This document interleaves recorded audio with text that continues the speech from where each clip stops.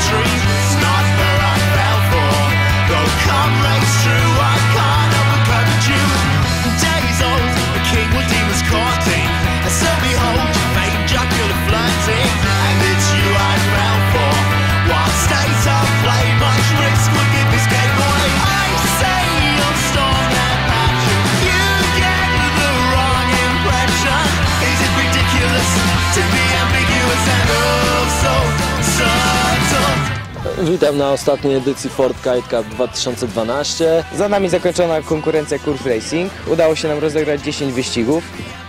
Zawody odbyły się w Jastarni od strony morza.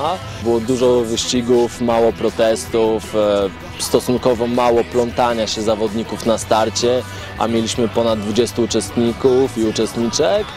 Także bardzo przyjemnie, wygrał Błaszko, drugi był niebrzydki, trzeci Maksiu. Bardzo przyjemne regaty. Yeah.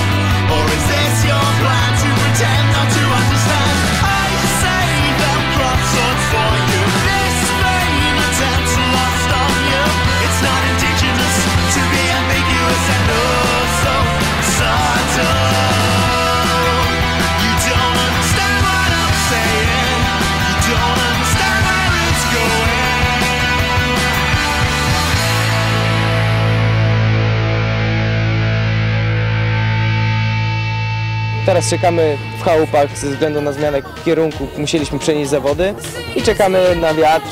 Liczymy na to, że jeszcze uda nam się rozegrać freestyle.